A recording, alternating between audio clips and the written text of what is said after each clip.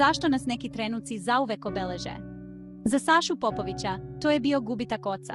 Njegov otac je poginuo u saobraćajnoj nesreći, a taj gubitak je ostavio neizbrisiv trag u Sašinoj duši.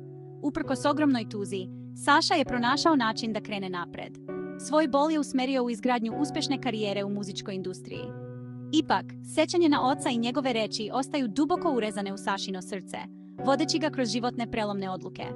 Ali, to nije bio kraj njegovih izazova. Prošle godine, Saša se suočio sa ozbiljnim zdravstvenim problemima, zbog kojih je morao na operaciju. Na sreću, dobro se oporavio i nastavio sa svojim profesionalnim obavezama, pokazujući svoju otpornost još jednom.